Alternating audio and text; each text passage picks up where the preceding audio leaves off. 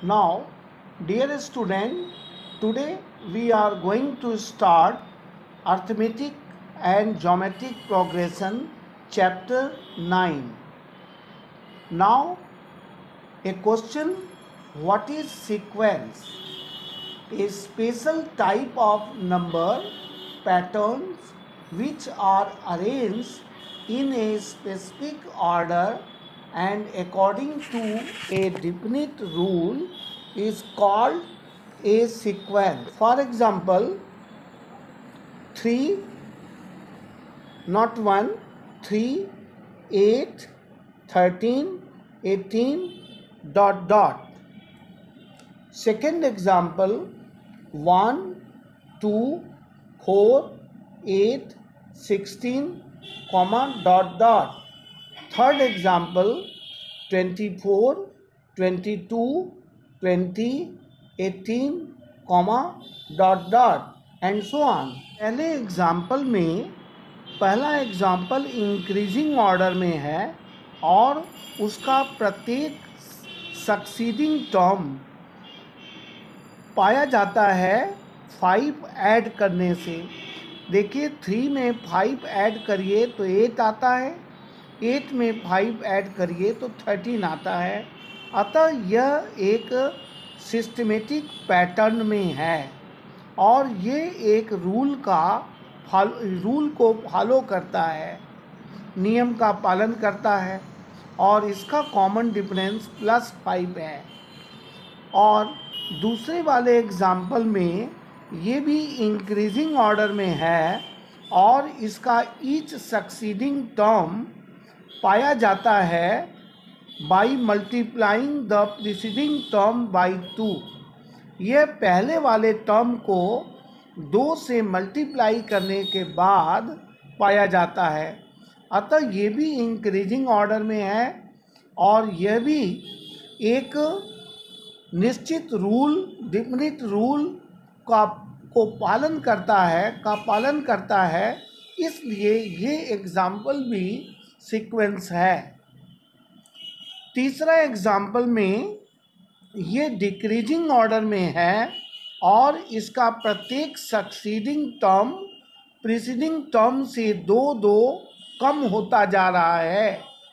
पहले वाला term twenty four उसके बाद दूसरा वाला टर्म पहले वाले टर्म से टू लेस हो गया, फिर तीसरा टर्म तीसरा टर्म उसके ठीक पिछले वाले टर्म से टू लेस हो गया। इसी प्रकार से यह सीक्वेंस बढ़ता जा रहा है। इसलिए ये तीनों एग्ज़ाम्पल सीक्वेंस में हैं। परंतु आप इस एग्ज़ाम्पल को देखिए। What does this sequence says now four seven eleven seventeen thirty two it does not follow any order or rule because पहले वाले टर्म में थ्री इंक्रीज कर रहा है, दूसरे वाले टर्म फोर इंक्रीज कर रहा है और तीसरा वाला टर्म सिक्स इंक्रीज कर रहा है और चौथा वाला टर्म तो बहुत ज़्यादा इंक्रीज कर रहा है। This pattern is not a sequence because it does not follow any order or rule अब हम आपको ये बताना चाहेंगे कि टाइप्स ऑफ़ सीक्वेंस क्या होता है। पहला टाइप है finite sequence a sequence which ends और हैज़ ए लास्ट टर्म एक ऐसा सीक्वेंस जो अंत होता है या जो एक लास्ट टर्म को रखता है, वो फाइनाइट सीक्वेंस कहलाता है।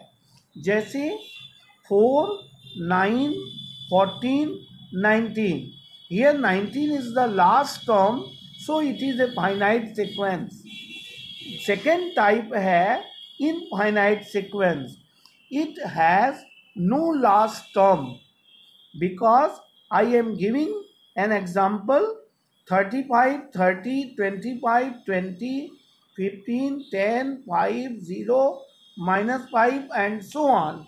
It has no last term, so it is called infinite term बच्चों अब हम ये बताएँगे कि what is series a series is defined as the sum of the terms of a sequence series क्या होता है? सीरीज़ एक सीक्वेंस के टर्म का सम होता है। जैसे two plus seven plus twelve plus seventeen plus dot dot and so on. It is an increasing order series and twenty two plus eighteen plus fourteen plus ten plus six plus dot dot it is an decreasing order series now question is what is arithmetic progression arithmetic progression जिसको हिंदी में कहते हैं, समांतर श्रेणी। ये क्या होता है?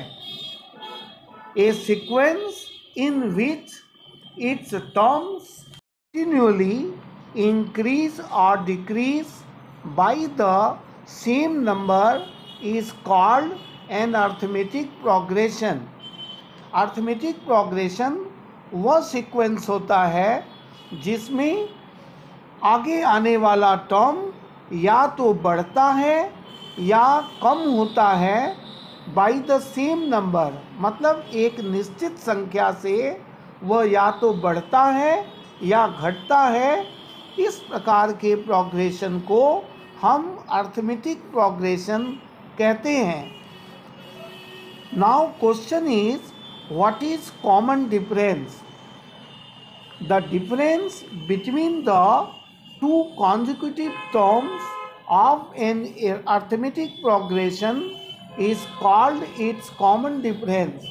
Arithmetic arithmetic progression का जो दो कॉन्जिक्यूटिव टर्म्स के बीच का जो डिफरेंस होता है, उसको हम लोग उस अर्थमेटिक प्रोग्रेशन का कॉमन डिफरेंस कहते हैं और इसे डी से स्मॉल डी से डिनोट करते हैं।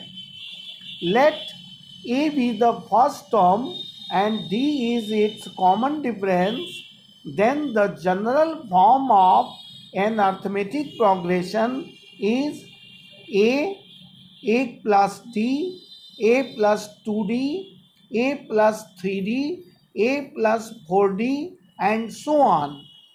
Now, what is the first term of the arithmetic progression? It is A. Now, we see here we will find the first term by a systematic pattern. What is the pattern? A is equal to A plus here first term therefore you will write down 1 minus 1 into D 1 minus 1 is equal to 0 0 into D is equal to 0 A plus 0 is equal to A we get the first term now second term is a plus d, a plus d. How will you find a plus d? We see here first term a plus it is the second term. So I have written here second term 2 minus 1 into d. 2 minus 1 is equal to 1, 1 into d is equal to d, a plus d is equal to a plus d. Now the third term a plus 2d, we get a plus 3 minus 1 into d. We get a plus 2d. Similarly, you can find fourth term, fifth term, sixth term, seventh terms and so on how many terms which you are wanted to find. Then we can generalize or derive a formula. What is the formula of the nth term? nth term is equal to a plus n minus 1 into d. Here a plus n minus 1 into d, a plus n minus 1 into d, a plus n minus 1 into d. The nth term is denoted by Tn. Here Tn is the nth term A is the first term, n is the number of terms which are in which we are interested to find and D is the common difference. This is the first formula to find the nth term of NAP.